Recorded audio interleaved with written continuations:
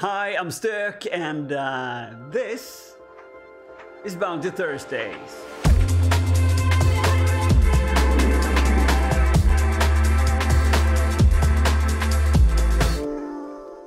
This episode is sponsored by Pentester Lab. And if you haven't done all the challenges over at Pentester Lab, I think now is a good idea to start. There's a lot of really good training over there, so head over there and check it out. But this episode is also sponsored by the epic people over at patreon.com slash stokfredrik. And a special shout out and mad love to Goobster for being a true supporter of the good vibes. Thank you.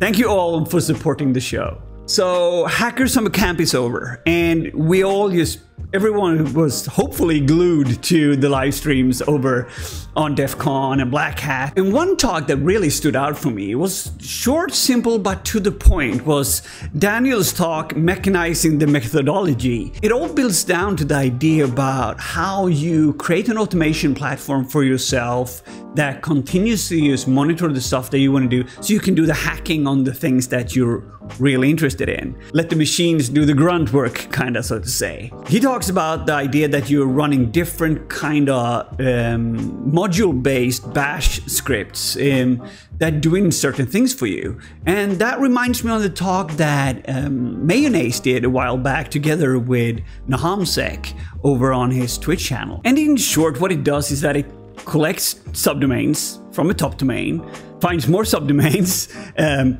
gets the IP addresses, get more IP addresses, then scan those IP addresses and gets the output and get, delivers that to you and does some other automation over and over again. And one of the things that Naffy said during his talk together with NahamSec as well on the Recon show was that he is a vivid Nmap user. And anyone that used Nmap knows that it's a super powerful tool, but it takes a lot of time. So if you're sending a lot of IP addresses in there on your box and you want to look at all those, there's a big chance that you're going to end up one getting yourself banned or rate limited or just burn that IP address because you're using that over and over all the time, right?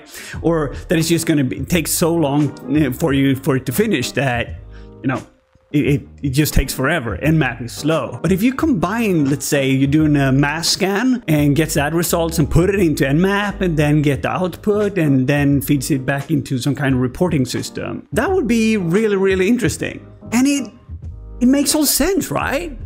How can we create a system that does this all for us, but does it at scale because we want multiple IPs, we want multiple machines, and we want it to be running just a certain amount or a small amount of IPs from one box, one IP, so that doesn't get burned. And that led me down the idea that maybe, maybe we could use Axiom for that. And I put together this super hacky bash script just to do the things for me. But I'm gonna break it down for you and show you step by step how it's possible to do the same thing and scan a wide range of targets at scale using Axiom, Axiom Fleet, and Axiom Scan. But first we need to spin up a fleet. In this case, I'm spinning up 15 instances that's going to be uh, around for about two hours. This is obviously in eight times the speed when we're doing this, so you get an idea at least. That's how it goes. So it takes about 150 seconds for them to spin them all up and initiate them. Then we run Axiom Scan using Uber, uh, a couple of IP addresses that I got, and I'm going to use masscan on port 80. So what's happening now is that Axiom sends my IP list to all these droplets and starts masscan at each and every one of them. That means we get a distributed load. So in a few seconds, only 17 hosts per server has been scanned and they're collected. This totally this took totally about 21 seconds and then it's downloading all the files using SCP. Saving them using my output file, masscan Uber.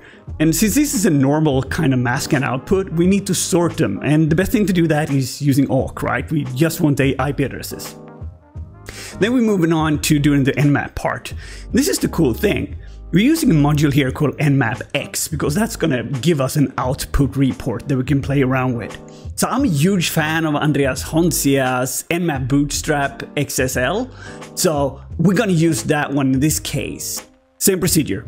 It's being uploaded to all the boxes, being shared, and then obviously this is more of a super speed because Nmap takes a lot of time and we're doing the SE and um, getting as much data as possible out. So this took about seven minutes. Then it's downloading all the scans again and just parses them together, puts it all together as an XML output. And I'm getting this output file, which is the scan report.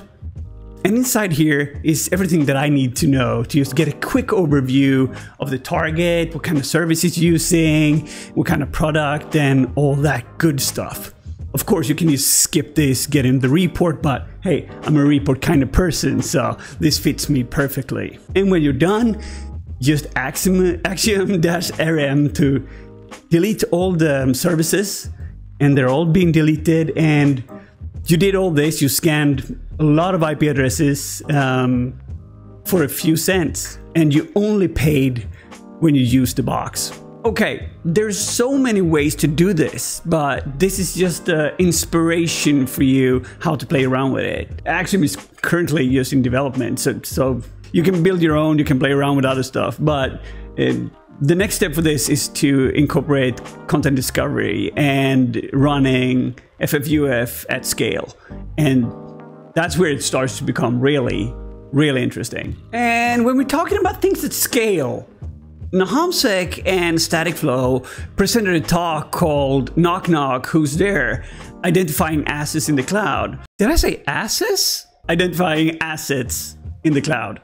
So what they did is that they went out and just scanned all the IP addresses on the known cloud spaces.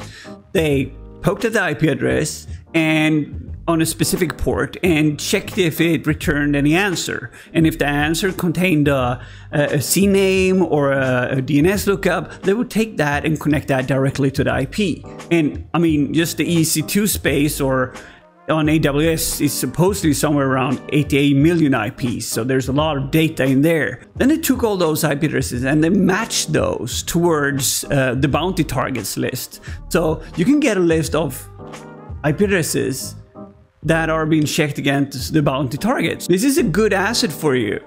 I'm definitely going to subscribe to the service and you can check it out now over at, over at recon.dev and try it out. I think there's like seven day free trial or something. But it's early days. It's very, very early days. This is going to be amazing in time. But for now, you know, bear with me, you know, or bear with them. Th things might just go offline and come back again. Try to support.